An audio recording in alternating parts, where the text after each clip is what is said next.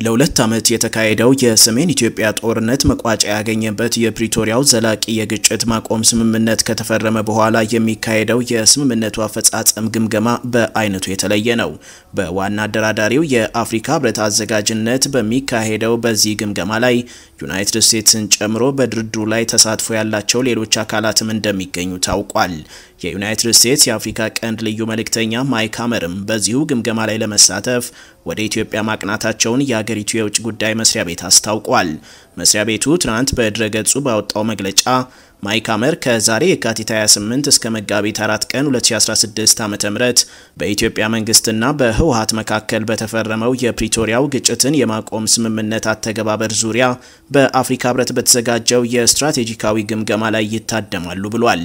ጦርነቱ ያበቃ ቢሆንም ሰላሙን ለማጽናት ተጨማሪ እርምጃዎችን መውሰድ እንደሚያስፈልግም አጽንኦት ሰጥቷል።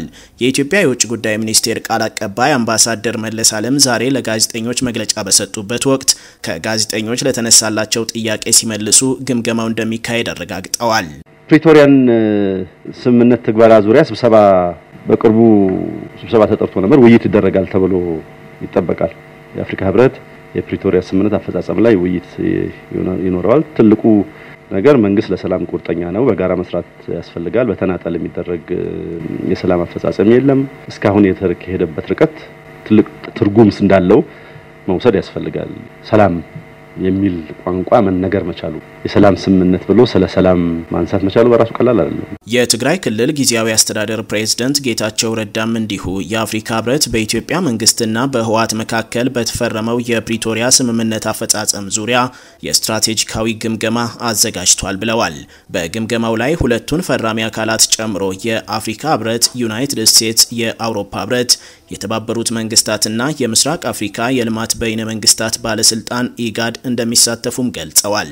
አቶ ጌታቸው በኤክስ አድራሻቸው ባስተላለፉት መልእክት ስምምነቱን ሙሉ በሙሉ መተግበር ወሳኝ ነው ያሉ ሲሆን ለዚህም የግምገማውን አስፈላጊነት አውስተዋል።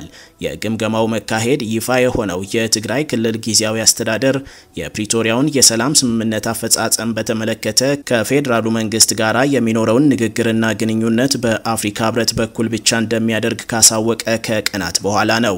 የኢትዮጵያ መንግስት ለስምምነቱ ተግባራዊነት ብዙ ሰርቷል ያሉት የውጭ ጉዳይ ሚኒስቴር ቃል አቀባይ አምባሳደር መለስ አለም፣ ሆኖም በርካታ የሚቀሩ ጉዳዮች መኖራቸውን ጠቅሰው ስለ ሰላሙ ቀጣይነት ተከታዩም ብለዋል። ባለቤቶቹ እኛ ነን። በነገራችን ላይ ስለ ሰላም ከኛ በላይ ሊሰራ የሚችል አካል የለም። እርግጥ ነው አፍሪካዊ ድጋፍ ነበረው፣ ግን የሰላም ባለቤቶች እኛ ነን። ኢትዮጵያውያን ሰላም እንዲመጣ ሁሉም አካል አስተዋጽኦ ማድረግ አለበት፣ ኃላፊነት አለበት። ተጠቃሚዎቹም እኛ ስለሆንን ለማለት ነው። ከስምምነቱ አፈጻጸም ጋር በተገናኘ ሁለቱ አካላት በተለያዩ አጋጣሚዎች ሲወቃቀሱ መቆየታቸው ይታወቃል።